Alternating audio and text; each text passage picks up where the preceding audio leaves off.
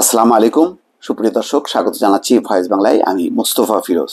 দর্শক, দেখুন ছবিটি। যাকে দেখতে পাচ্ছেন, তিনি হচ্ছেন আমস। ছবিটি খুব ইন্টারেস্টিং এবং একটি বিষয় আপনারা জানেন যে এই শামসুজ্জামান শামসের বড় ভাই, দুই ভাই তারা। বড় ভাই ছিলেন পুলিশের সহকারী পুলিশ সুপার। হলি আর্টিজানের অভিযানের সময় তার ভাই একেবারে প্রথমেই মারা যান। রবিউল ইসলাম, সম্ভবত তার নাম। এই কর্মকর্তা মারা যান। আজকে দেখেন দুর্ভাগ্য এই শামসুজ্জামান শামস সাংবাদিকতা করতেন। মাঝখানে কিছুদিন ব্যাংকেও চাকরি করেছেন, আবার সাংবাদিকতায় এসেছেন। আজকে এই ছোট ভাইকে তার যেই প্রয়াত বড় ভাই, তার সহকর্মী দেখেন, এই যে পুলিশ, একই বাহিনীর, তাদের মাঝে সে আছে। আচ্ছা যাই হোক দর্শক, আমি এটি বর্ণনা করার জন্য না। শামসুজ্জামান শামস হচ্ছে এখন আন্তর্জাতিক গণমাধ্যমের একেবারে কেন্দ্রে। তার নাম বিশ্বের মুখে মুখে। সাভারে প্রতিনিধি প্রথম আলোর। এই শামসুজ্জামান শামসকে আমিও কখনো ব্যক্তিগতভাবে চিনি না, তার নামও শুনিনি। নিশ্চয়ই দর্শক আপনারাও শোনেননি। কিন্তু এখন সারা বিশ্ব এই শামসুজ্জামান শামসকে চিনেছে। সরকারের একটি মামলা, তাকে যেভাবে গ্রেপ্তার রাতে তুলে নেওয়া তারপরে বিশ ঘণ্টা পর্যন্ত তার কোনো খোঁজ ছিল না, তারপরে তাকে একবারে আদালতে পাঠিয়ে কারাগারে, অথচ জামিন পেতে পারতো, এমন কোনো খুন রাহাজানি ধর্ষণ করেনি, এমনকি সে কোনো মিথ্যা রিপোর্টও করেনি।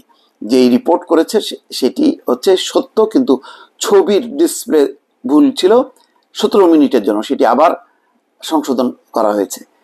এটাকে অজুহাত করে আজকে যে পরিস্থিতি তৈরি করেছে, তাতে শামসুজ্জামান শামস হচ্ছে এখন আলোচনার কেন্দ্রবিন্দু। যেহেতু আলোচনার কেন্দ্রবিন্দু, সেই কারণে শামসুজ্জামান শামসের সর্বশেষ অবস্থা আপনাদেরকে জানানো দরকার এবং নিশ্চয়ই আপনাদেরও আগ্রহ আছে। কাশিমপুর কারাগারে তাকে পাঠানো হয়েছিল।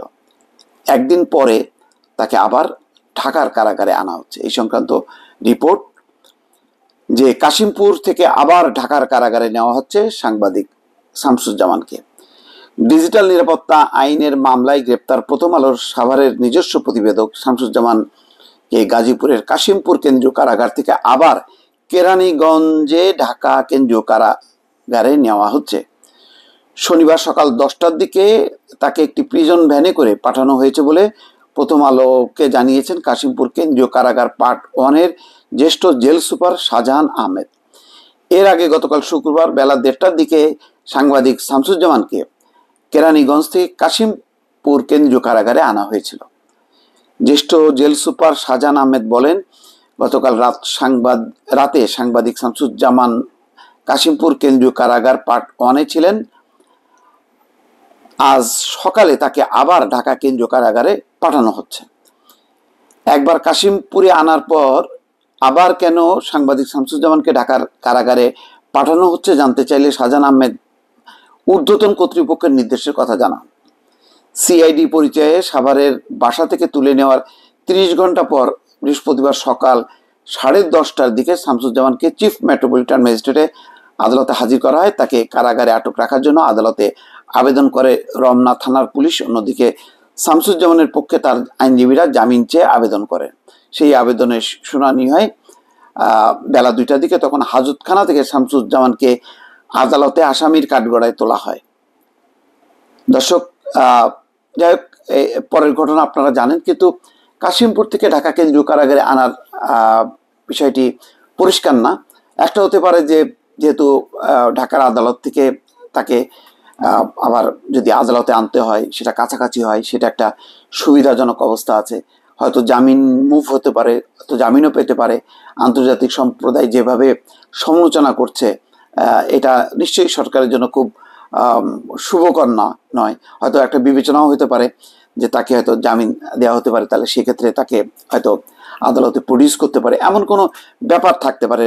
আবার এমনও হতে পারে যে তুলনামূলকভাবে ঢাকা কেন্দ্রীয় কারাগারে সুযোগ সুবিধার দিক দিয়ে এবং নিরাপত্তার দিক থেকে যতটা ভালো কাশিমপুরটা তো সেভাবে না।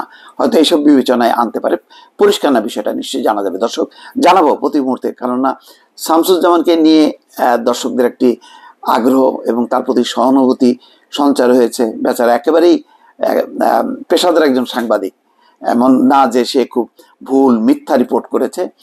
সম্পাদনার ক্ষেত্রে অফিস থেকে হয়তো মানে এই সবুজের ছবিটি ছাপা হয়েছে, যেখানে জাকির হোসেনের ছবিটি ছাপা হওয়া উচিত ছিল। তো সে সতেরো মিনিটের মাথায় সেটি আবার সংশোধনও করা হয়েছে।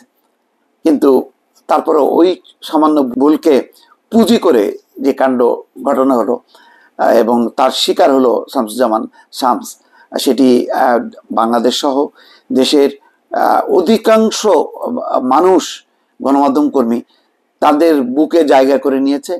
আন্তর্জাতিকভাবে যারা প্রবাসে থাকেন, তারাও নিশ্চয়ই এই ছেলেটির জন্য বা এই সাংবাদিকের জন্য রিপোর্টার খুবই আমার জুনিয়র এই জন্য আমি ছেলেটি বললাম। তার জন্য একটা মানে ভালোবাসার জায়গা করে নিয়েছে শামসুজ্জামান সবার হৃদয়ে। নিশ্চয়ই আপনাদের দোয়া থাকবে এবং খুব দ্রুত সে মুক্তি পাবে এটি আমাদের প্রত্যাশা দর্শক। ভালো থাকবেন। আল্লাহ হাফেজ।